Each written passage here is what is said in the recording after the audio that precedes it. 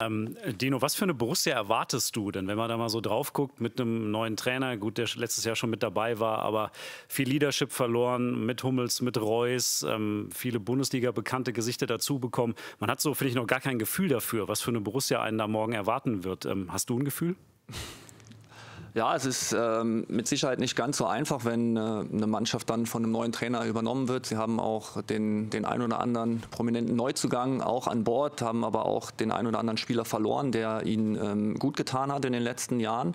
Ähm, wir erwarten schon eine, eine, Herangehensweise, dass sie versuchen, viel den Ball äh, zu haben, dass sie versuchen, dominant aufzutreten. Dafür haben sie auch dann sich dementsprechend auch so verstärkt. Ähm, Pascal Groß im Mittelfeld ist ein sehr ballsicherer Spieler. Ähm, wir haben uns die die Vorbereitungsspiele natürlich alle angeschaut ähm, vom BVB ähm, und will jetzt auch gar nicht so viel über Dortmund reden. Ich glaube, wer, wer die äh, Verstärkung gesehen hat, braucht kein Atomphysiker zu sein, um, um Saisonziel von BVB ähm, zu erkennen.